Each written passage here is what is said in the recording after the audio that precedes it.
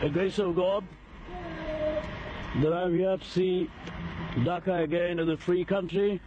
I left on the 29th as a fugitive, assisted by a first cousin of mine, M.R. Osmani, then Deputy Secretary of the Home Department, and another cousin of mine called Salahuddin. Two young men got me out of the clutches of the murderous gangs on the 29th morning. And they asked me that I must get out quickly and out of the borders to be able to be of any service to the country. And today, to come back to see here Dhaka in sunshine, still bearing the scars of the genocide, but to see the faces of people looking determined, looking with determination and faith and hope to the future, it is a great, I, I feel deeply grateful to God to have been able to see this day. Thank you, gentlemen. Jai Bangla!